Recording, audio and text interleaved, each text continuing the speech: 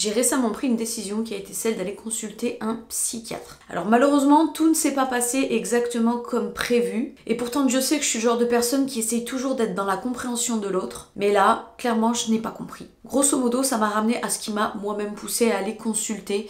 Donc en fait, ça n'a fait que confirmer ce que j'estimais être de la paranoïa qui doit certainement en être aussi l'un dans l'autre. Je vais tout, tout vous expliquer. Mais c'est vrai que des fois, on a l'impression qu'il y a des professionnels qui peuvent des choses pour vous. Alors je ne baisse pas les bras pour autant. Ce que je vais vous dire là, c'est que je suis juste un peu refroidie pour le moment. Mais à terme, sans doute que je retrouverai un élan de courage qui me repoussera à consulter euh, différemment et ailleurs, bien évidemment. Donc déjà, je vais vous remettre les choses un petit peu en contexte. L'une des questions que vous êtes sans doute en train de vous poser actuellement en ayant cliqué sur cette vidéo, c'est pourquoi elle veut consulter un psychiatre. Alors disons qu'il y a une accumulation de plusieurs choses que je gère plus ou moins euh, en moi depuis pratiquement toujours. Et il y a des éléments déclencheurs. Alors si jamais vous suivez un petit peu l'actualité, vous n'êtes pas sans savoir que la youtubeuse Mavachou s'est donné la mort le 22 décembre dernier euh, pour cause de harcèlement. Alors moi Mavachou j'ai pas voulu trop en parler si vous voulez euh, du tout même lorsque c'est arrivé parce que j'ai une histoire plus particulière que les autres je pense avec, avec elle. Euh, j'ai pas forcément envie de vous donner masse de détails parce que ça n'a aucun intérêt à notre vidéo, mais pour que vous puissiez comprendre l'intensité du choc que ça m'a donné, je suis bien obligée de passer par un petit récit qui, entre guillemets, va être une révélation dont la plupart d'entre vous ne sont pas au courant. C'est que si Maeva euh, s'est lancée sur YouTube, c'est en partie grâce à moi. Je sais pas si c'est bien approprié que je dise grâce ou pas, mais en gros, euh, son ex-mari et le mien actuel partageaient une passion commune avant même YouTube en 2010 ou quelque chose comme ça. Donc vous voyez, ça remonte à il y a des années en arrière. Du coup, ils échangeaient beaucoup euh, entre eux sur leur passion commune et euh, voyant quelle était ma, profession, parce que je démarrais ma profession de, de youtubeuse du coup, le mari de Maeva s'est rendu compte euh, peut-être que ça pouvait être sympa pour sa, pour sa femme et il a demandé à mon mari si c'était possible de nous mettre en relation pour qu'on devienne copines ou voilà quoi qu'on échange entre nous. Donc Maeva me demandait euh, beaucoup de choses en rapport avec YouTube, notamment le salaire, notamment mes équipements, avec quoi je m'éclairais, avec quoi je filmais, avec quoi je faisais mes montages, voilà, plusieurs genres de questions. Et un jour, bah, je, vois qu'elle se décide à ouvrir sa propre chaîne, chaîne qui va avoir le succès donc on connaît tous. Bon, malheureusement, euh, on n'a pas eu des atomes trop trop crochus, donc euh, ce qui a fait que on s'est vite éloigné de, ce couple-là sans pour autant leur vouloir quoi que ce soit de négatif dans leur, dans leur existence, bien au contraire. Et du coup, les années sont passées sans plus que je ne m'intéresse euh, à quoi que ce soit. De temps en temps, j'entendais parler des choses par-ci, des choses par-là. Et à partir de ce moment-là, si vous voulez, je me suis dit, mais qu'est-ce que j'ai manqué durant toutes ces années? Qu'est-ce qui s'est vraiment passé? Et du coup, je suis allée un petit peu sur internet consulter de ça, de là, pour euh, en gros avoir des réponses à mes interrogations. Et outre le contexte, outre le... Voilà, moi je suis pas dans l'accusation, je ne veux pas être dans l'accusation du tout. Euh, parce que d'un ça me regarde pas, de deux on vit pas avec les gens, on ne sait pas, et que je peux pas m'empêcher de faire le parallèle avec euh, ma vie personnelle par exemple, et je me dis mais en fait euh, oui si un jour il m'arrive ceci ou s'il m'arrive cela, il serait possible que ce soit vu de cet œil là, alors que la vérité voudrait que ça penche plus de ce côté là. En vérité je m'évite vraiment de rentrer dans les détails quand je pense à cette histoire. Mais comme je vous le dis, je n'ai pas pu m'empêcher de faire le parallèle avec ma vie personnelle. Et en fait, j'ai réalisé que j'avais beaucoup de points communs finalement avec Maeva. Euh, moi aussi, des fois, j'ai des phases où je ressens euh, vraiment une lourde pression des réseaux sociaux, même si on me fait aucun mal. Euh, vraiment, j'ai eu des, des, années où c'était dix fois pire que ça. Mais il n'empêche que ces mauvaises expériences que j'ai eues dans toute ma carrière ont laissé des, des tâches indélébiles, j'ai l'impression, qui de temps en temps, quand j'ai un coup de blues ou un spleen, font que je deviens irritable et hautement paranoïaque. Autre chose dont je me suis rendu compte finalement, c'est que les réseaux sociaux, si jamais par exemple tu sens que tu atteins une certaine limite dans ta santé mentale, si tu veux prendre une pause, tu peux le payer très cher. En gros, j'ai même envie de te dire, tu peux pas te le permettre tous les influenceurs, tous les youtubeurs, tous les créateurs digitales ne peuvent pas se permettre une pause. Parce que des fois, pour réparer un mental euh, qui a été vraiment euh, lourdement impacté, et on développera ça dans quelques instants, ça peut ressembler à un burn-out. Si jamais vous avez des gens, ou voire vous-même, euh, qui ont déjà subi le burn-out, vous n'êtes pas sans savoir qu'un burn-out peut prendre un an, deux ans pour se rétablir, vous voyez? Sauf que sur les réseaux sociaux, vous faites une pause pendant un an, deux ans, limite même vous faites une pause de trois semaines, vu que vous dépendez d'un algorithme, les gars, En fait, le réseau social, il va privilégier les gens qui sont actifs. Dès lors que toi, tu veux t'accorder un temps pour toi, pour te ressaisir, pour te remettre, eh ben, tu vas perdre en visibilité. Et si tu perds en visibilité, tu vas forcément perdre en revenus. Et si tu perds en revenus, tu vis avec une épée de Damoclès au-dessus de ta tête qui est est-ce que je vais être capable de payer mon loyer? Est-ce que je vais être capable de payer mes factures? Est-ce que je vais être capable de ci, de ça? Et ça, ça te cause mais une angoisse profonde. Et moi-même, en fait, en tant que créateur de contenu, j'ai connu, notamment à cause de la période Covid, euh, des phases là comme ça où je touchais à rien je touchais rien. Puis pour continuer à parler un peu du, des côtés négatifs, parce que c'est les côtés négatifs qui nous impactent et qui nous rendent euh, un peu sonnés de temps en temps, YouTube, les réseaux sociaux, YouTube, quand on a décidé d'en faire un métier et d'en vivre à 100% en tout cas, ça peut être hyper ingrat, dans le sens où, euh, bah, par exemple, vous prenez quelqu'un comme moi, qui passe son temps à faire des scripts, qui réfléchit ses vidéos, qui les écrit, et puis qui fait tout le travail de montage euh, derrière tout ça, qui mine de rien est déjà chronophage quand on n'en fait pas beaucoup, mais quand on essaye un peu de pimenter la vidéo en rajoutant même un petit effet par-ci ou par-là, je sais qu'il y a des logiciels qui sont très intuitifs, mais le mien ne l'est pas du tout en vérité. Je suis obligée de créer chaque effet que je veux mettre en vidéo. Donc c'est plus de travail encore. Et les vidéos qui ont été travaillées, euh, assez souvent, on va dire, en tout cas, n'ont pas le mérite qu'elles euh, devraient avoir. Donc pour un créateur, on va dire, sérieux, qui se veut sérieux, c'est une pilule qui n'est pas toujours facile à avaler. Donc voyez tout ça, le décès de Maeva m'a vraiment euh, fait prendre conscience d'une chose dont j'avais déjà conscience. Mais je sais pas, c'est comme si j'avais eu un accès de lucidité sur quelque chose que je connaissais déjà. Et cet accès de lucidité m'a fait peur parce que je me suis dit, c'est elle aujourd'hui, ça peut tout à fait être moi demain. Même si je n'ai absolument aucune pensée de ce type, eh ben en fait je me dis que on n'est jamais trop à l'abri, on ne sait pas. Il y a aussi quelque chose d'assez lourd à, euh, à, affronter. On va dire que sur une vie classique hors réseaux sociaux, donc euh, une vie tout ce qu'il y a de plus traditionnel, vous faites votre vie, vous allez de temps en temps rencontrer un pépin, vous allez de temps en temps être confronté à une situation qui va pas vous faire plaisir, qui va vous angoisser ou quoi que ce soit. Et ça va arriver, ça va être ponctuel, ça va arriver de temps en temps en fait, euh, ou alors vous allez vous prendre le bec avec quelqu'un, vous allez pas être d'accord, ça va être un peu vif, ça va toucher votre ego, ça va toucher votre amour propre. Donc voilà, ces choses-là vont être parsemées sur une vie normale.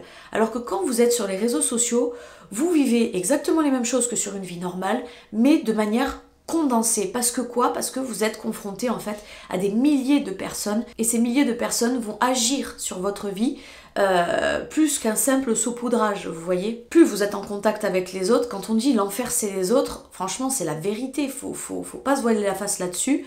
Euh, les gens deviennent de plus en plus toxiques entre eux-mêmes. Ils se veulent de moins en moins de bonnes choses alors que pourtant on prône, positivité, euh, générosité, bienveillance. Ce sont des mots qu'on vous sert à toutes les sauces et ce sont parfois même ces mêmes personnes euh, qui ont tendance à alimenter justement les provocations diverses et variées. Donc en fait c'est cet aspect-là qu'il faut comprendre. Mais c'est facile à dire, comprenez-le, comprenez-le.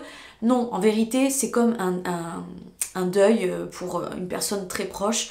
On peut toujours essayer de dire Oh, je te comprends, je te comprends. C'est faux.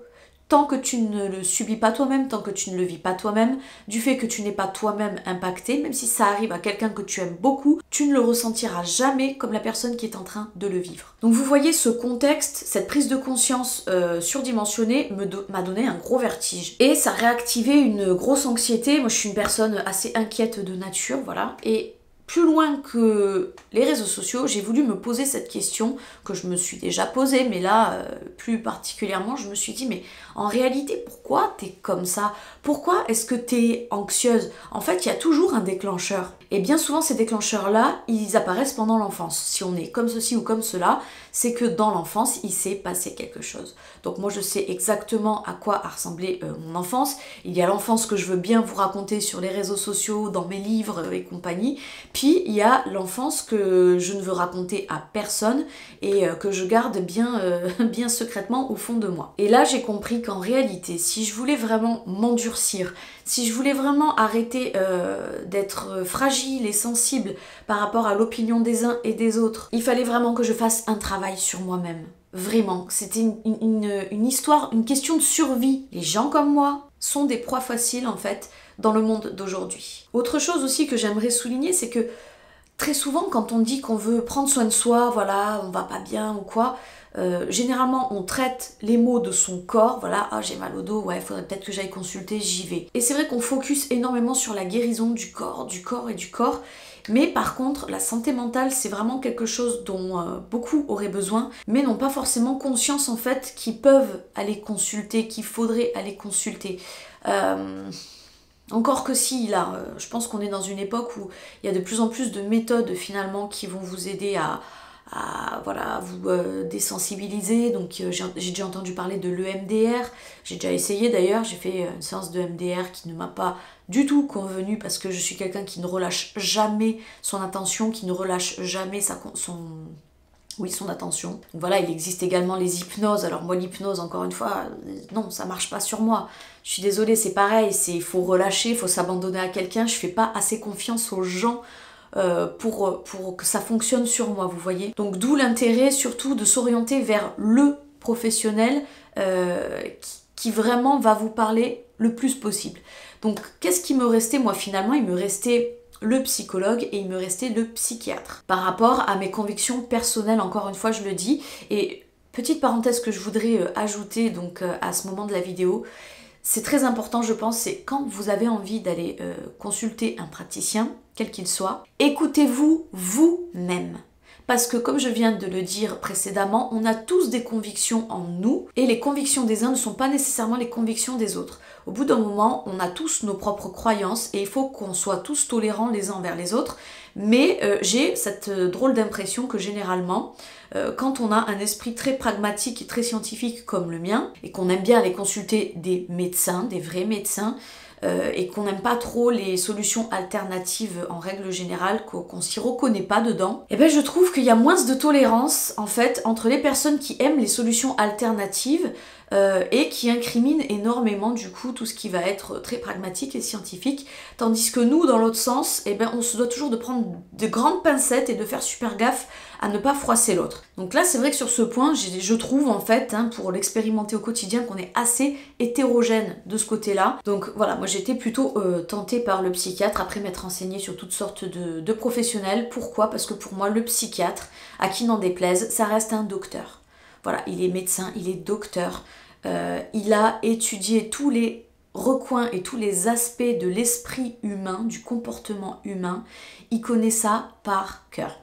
Euh, tandis que le psychologue, d'après moi, est encore un grade euh, en dessous, même s'il est très performant, il reste un grade en dessous dans le sens où il a des connaissances basées sur le comportement de l'humain, parfois même de manière très importante, mais il n'aura malgré tout pas la finesse du psychiatre. Donc d'après moi, même si le psychologue aurait pu être une bonne alternative, et vous allez vite comprendre en fait, je voulais vraiment m'approcher du, psychiatre, parce que je me suis dit, si vraiment je renferme quelque chose de pathologique en moi, euh, parce que bon, je vais vous parler après de mes troubles, de ce que j'ai euh, remarqué en tout cas chez moi, qui nécessitait un, accompagnement, c'est que si jamais vraiment le professionnel considère que ma situation est très handicapante, il peut avoir des recours pour m'aider même dans ma vie du quotidien. C'est-à-dire il peut faire des dossiers, il peut mettre en place des choses, choses que le psychologue ben, ne peut pas faire. Donc oui, l'expérience avec le psychiatre arrive, mais d'abord je veux vous parler du coup de ce que je me reproche aujourd'hui qui fait que j'ai envie d'aller consulter.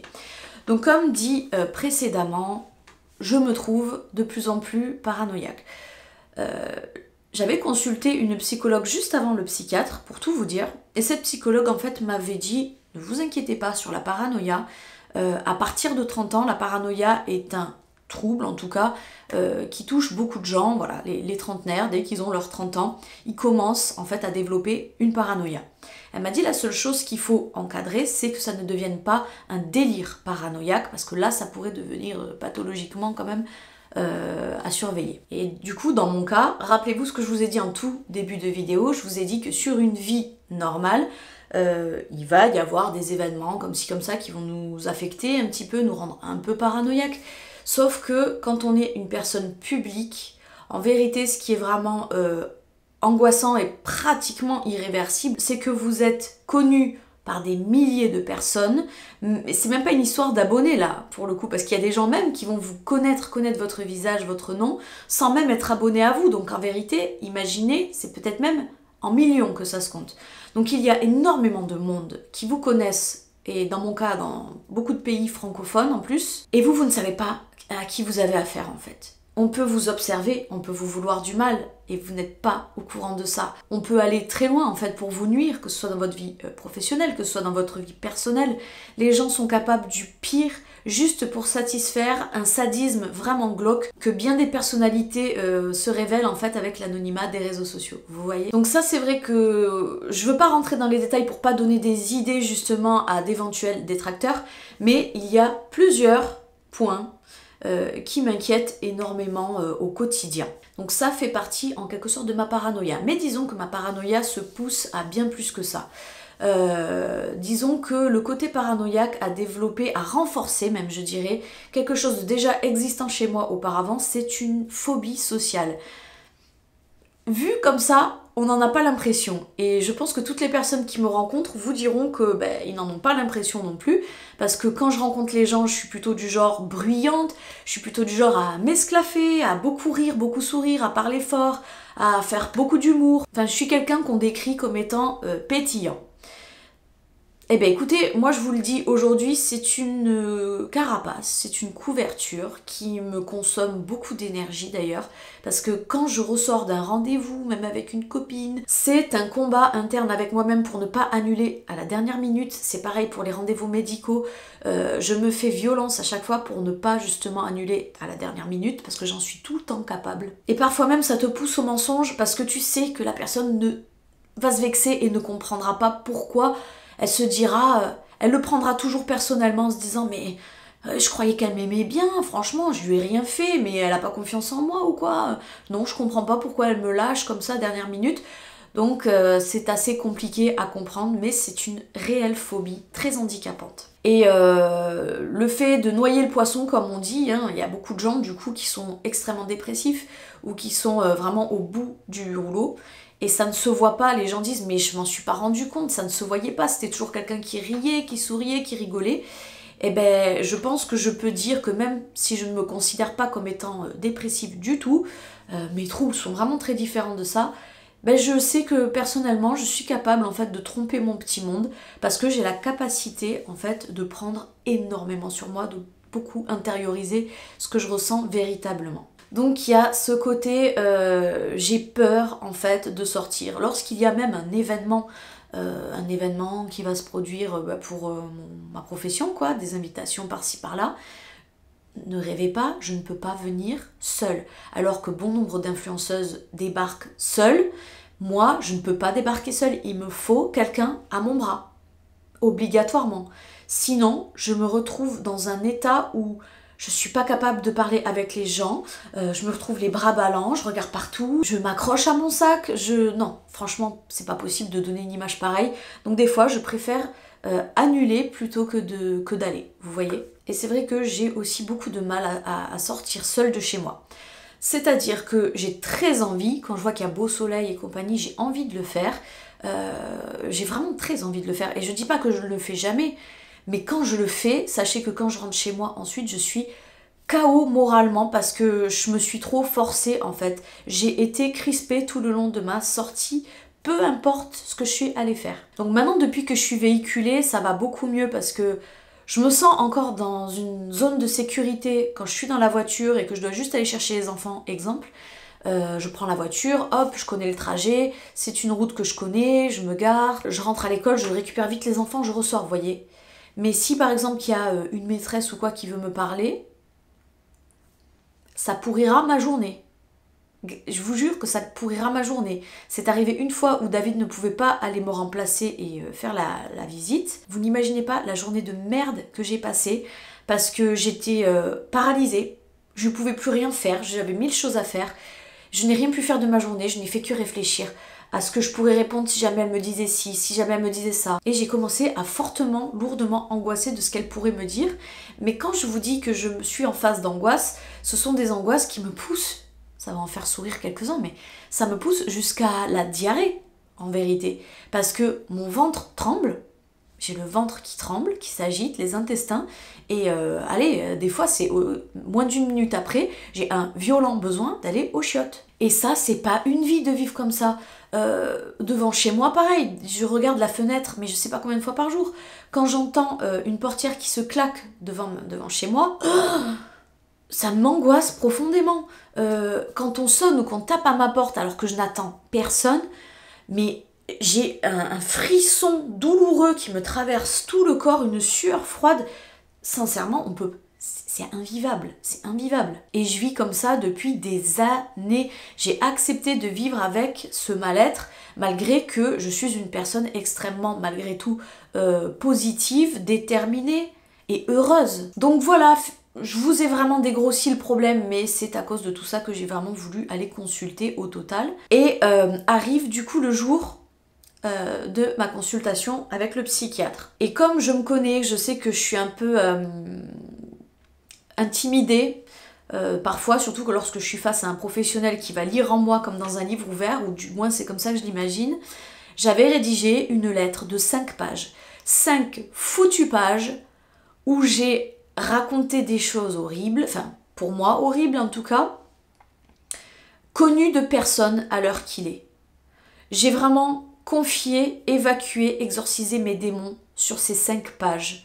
Euh, vous n'imaginez pas ce que ça m'a coûté émotionnellement en fait de d'écrire ça, de le verbaliser euh, et de le partager à un parfait inconnu parce que autre chose aussi c'est que j'ai un manque de confiance en l'être humain globalement, c'est-à-dire que même les gens que j'aime profondément, je ne leur fais pas confiance parce que sur toutes ces années je me suis rendu compte qu'on peut être trahi par euh, la personne la plus proche de soi. Parce que j'ai toujours ce truc de me dire, oui, tant qu'on s'entend bien, tout va bien, mais le jour où on s'entend mal, on paiera l'addition à ce moment-là. Donc imaginez un peu, pour quelqu'un qui n'a confiance en personne, qui se traîne des troubles de, l'anxiété depuis X années, déjà avoir la démarche d'aller se faire soigner, moi je trouve que c'est courageux. Et arrive la consultation.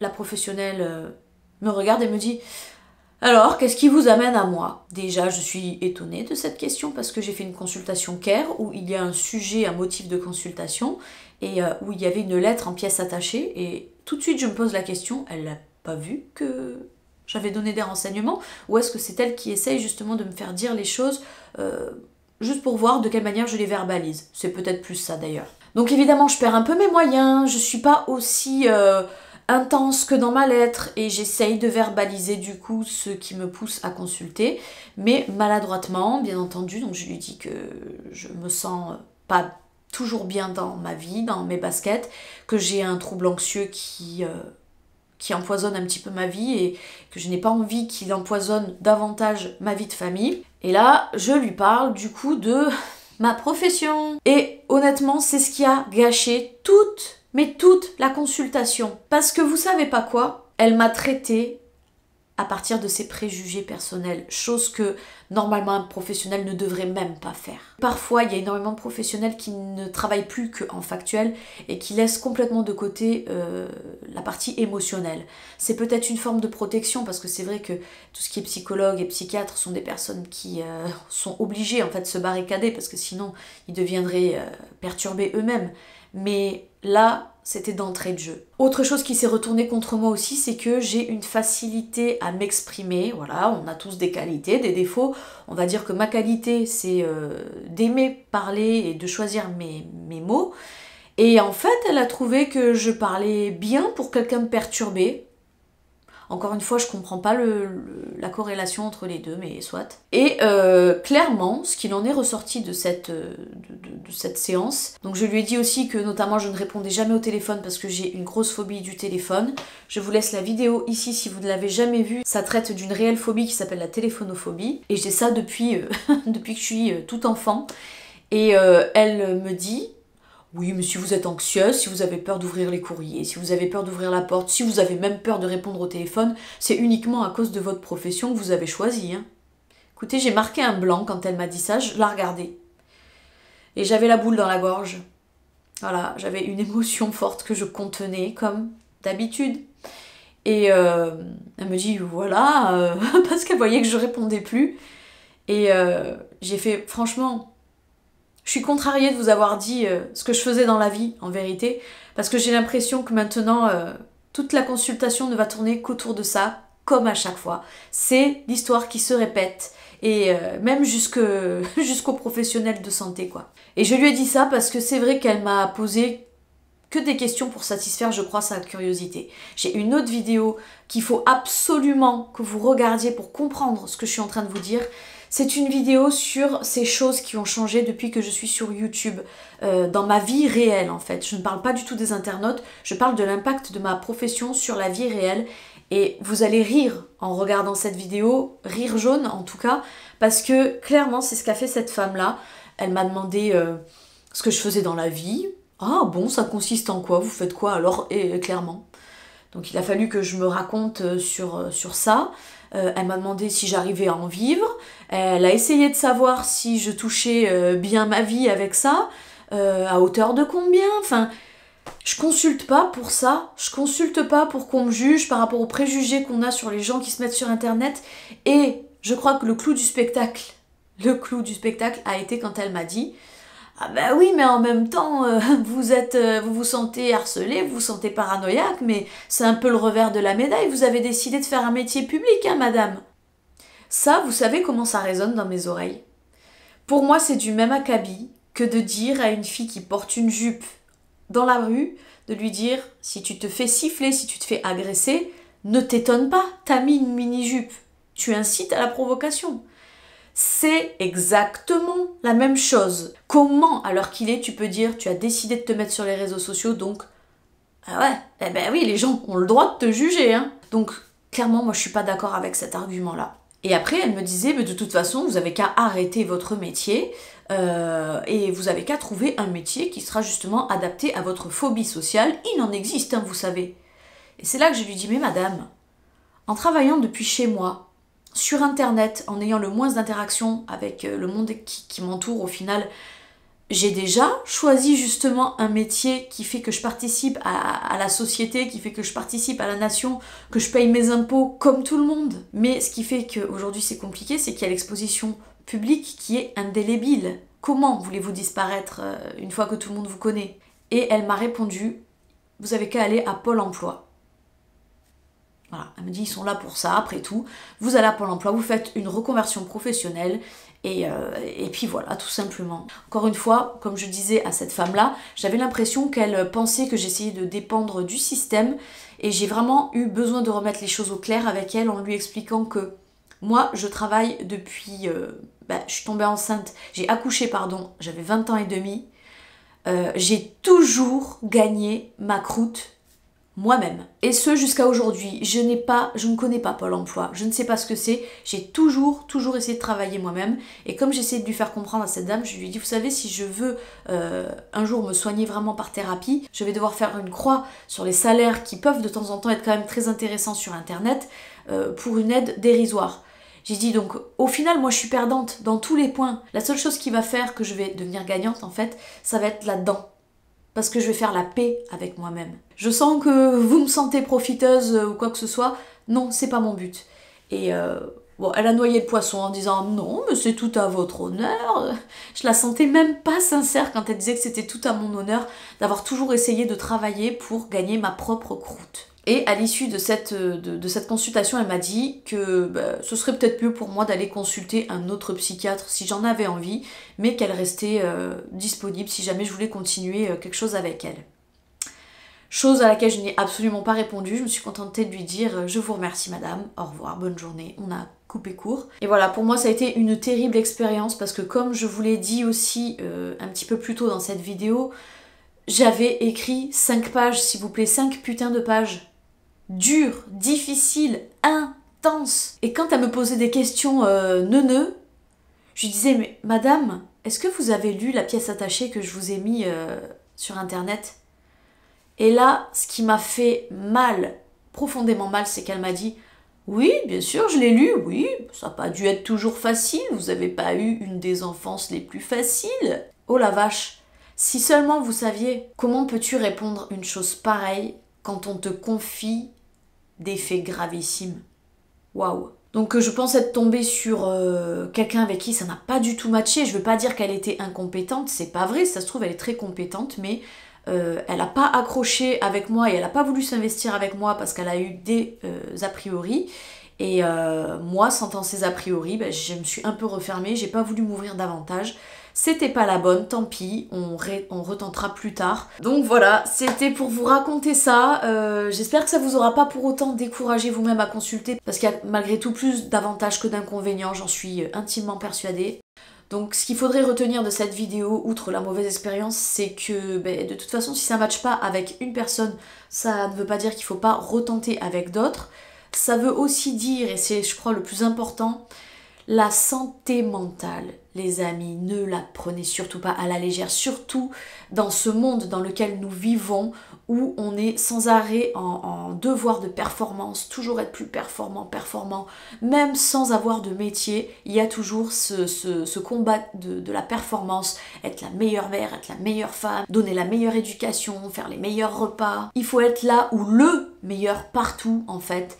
Euh, parce que la concurrence se veut de plus en plus grande et on nous demande de travailler plus et de faire de plus en plus de choses. Et du fait en plus qu'on est tous des téléphones portables maintenant, des réseaux sociaux qui rendent des choses accessibles, les SMS, tout ça, font que ben, il n'y a plus le respect des horaires et je pense que vous qui travaillez même pour euh, un patron ou j'en sais trop rien dans une boîte, euh, votre téléphone a peut-être déjà sonné à 23h ou minuit parce que en fait on est en connexion permanente avec les gens, il n'y a plus cette coupure et c'est fort fort dommage. C'est ce qui fait aussi que parfois je me renferme euh, beaucoup dans le passé en me disant c'était mieux avant. C'est pas tout le temps que j'ai ce raisonnement parce que je, me rends toujours compte de quand il y a un truc qui commence à pas trop aller chez moi et euh, j'essaie toujours de me recentrer parce que pour moi l'équilibre est la clé euh, du bien-être. Mais c'est vrai que quand je me sens mal, je me réfugie beaucoup euh, dans une autre époque. Voilà, waouh, je suis désolée, je sais que c'est une vidéo qui va être archi longue, que je vais avoir du mal à synthétiser, mais j'ai l'impression que tout ce que je vous dis là euh,